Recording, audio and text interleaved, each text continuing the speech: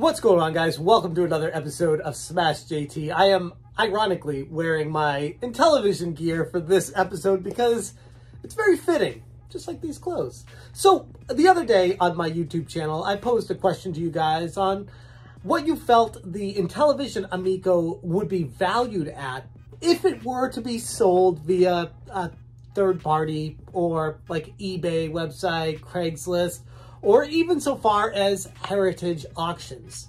You're probably wondering why I have pictures of the Nintendo PlayStation up on my screen right now. I was, I was doing a little bit of research just for, for context of this because the answers for that poll are all over the map. If it's your first time the channel, hit that subscribe button and bell for notifications so you do not miss an upload. Also, check out smashjt.com. So, yeah, the Intellivision Amico saga, the the saga that just refuses to die, and let's be honest, it's it's entertaining. We all know it is, and I feel like with context historically with video games comes fun questions and crazy situations that have arisen over the decades. And one of those was when the official Heritage Auctions put up for sale one of the last Nintendo PlayStations known to exist. Apparently there were 200 of these? I don't know how many of them are still surviving. I don't know how many people actually have them. But this one version of the Nintendo PlayStation sold in March of 2020 for $300,000 and that's just the bid. Additionally to that are heritage auction fees totaling about $80,000 in addition. So you're looking at about $380,000 to the winning bidder who apparently is the co-founder of Oculus. Somebody with too much money on their hands and they want to collect video games. More power to them. And with the Intellivision Amico, obviously it's not on the pantheon of Super Nintendo pairing up with Sony to create the next console and having it falling apart and having a storied history there. But Intellivision does have a storied history. It might not be the prettiest, but but it definitely has a history. And and I posed the question of if there was only one unit, for whatever reason, using our make-believe world, that only one Intellivision Amico came to market, the customer version, the final production unit, and then they're just like, you know what, screw it, we're we're closing doors, we're not doing this, we can't do this, it's not worth it, we're, we're getting our knees chopped off from the Sadesh loan, we can't afford to make these consoles, whatever it ends up being, just there's just one console that comes out. What would it be worth? Now, I don't want to take into account the pilot units that were given out to some of the shills for testing purposes. We're going to limit this just to saying that, okay, those other units do exist, but we'll say that there is one customer version available with box, sealed, you know, everything brand new from from a factory line that was like literally their test unit from the factory to, to check the design specs to make sure that they were going to mass produce these, so they made one of them. They wanted to run it by Intellivision, and then they stopped. So bear with me here. Okay, so that one unit is available, and it gets sent to, I, I don't know, Pat and Ian. What is it valued at? Say they don't want it. Say say they're like, no, this is this is funny, but I'd rather have money for it. And they, they put it up on eBay. What would it be worth? Would it be worth like under 500 bucks? Would it be worth under 10,000? Would it be up more than that? It's an interesting question because when it comes to one-of-a-kind video game items with a story behind them, the bids can start to get pretty ridiculous. And it only, you gotta remember, it only takes two people to make a bid get ridiculous. You could have everyone in the world laughing at them, but two people in this world that are hardcore game collectors, specifically to retro gaming, specifically to Intellivision for whatever reason, and they just have to have this in their collection. What would that bid get up to?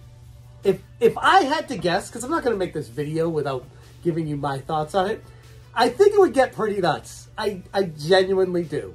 Uh, I obviously it would go for way more than it's worth, but that's just like a what it's worth to you. I think a lot of people would forget the context of just having the ability to say, I own a piece of gaming history that no one else has, that other people have a lot of curiosity about, have a lot of interest in, would have loved to be able to play this thing. There's there's something to be said for that. I mean, the the Nintendo PlayStation doesn't even play CDs. Ben Heck couldn't even get the thing to work. You you can't figure it out to even make it play the games. The Super Famicom games work on it, but that's another story. But it doesn't work completely. So someone paid $380,000 for a piece of plastic that is history.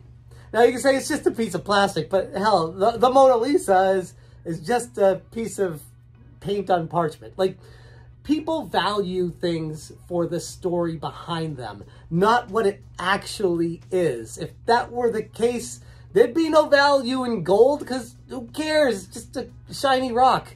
The point is what people place value in. So, anyways, back to my thoughts on what it would be worth.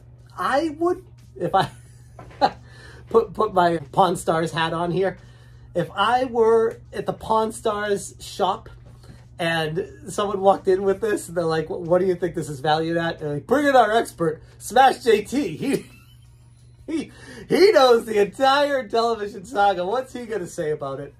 I, I would give a little bit of a backstory about the complete catastrophe behind the scenes, but then I would acknowledge the value in the history of the story, and I would I would imagine that it would go for for over a hundred thousand dollars. I I genuinely believe that. Now this is like after Intellivision is through insolvency, bankruptcy. They're they're completely gone. There's no way another Intellivision Amico could be made. The trademarks shot to hell. There's like this is just guaranteeing that it's the only unit ever in existence besides those pilot units. And we're assuming those pilot units weren't functioning perfectly or properly and weren't customized specifically to uh, customer, a, a user. I, I'm thinking like maybe there's 15 Amicos out there.